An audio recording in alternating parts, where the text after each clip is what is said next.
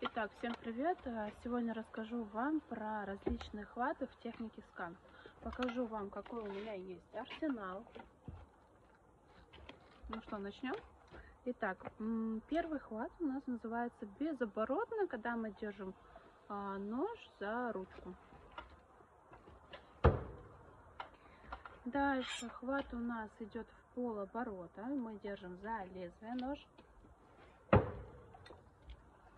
Дальше присутствует у нас хват 4 пальца. Мы можем метать а, различные острые ножи. И чтобы не пораниться, мы кладем 4 пальца с одной стороны, один палец с другой.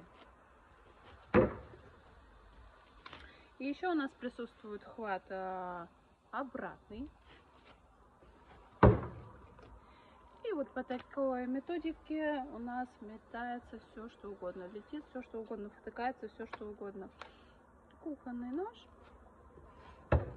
то есть мы понимаем, что есть у нас а, хват без оборота, полоборота, 4 пальца и обратный хват.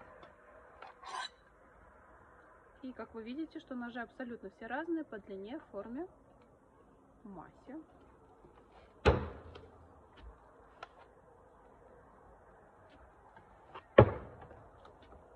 Даже сломанные кухонные ножи. Сломанные метательные ножи. Что у меня здесь еще есть?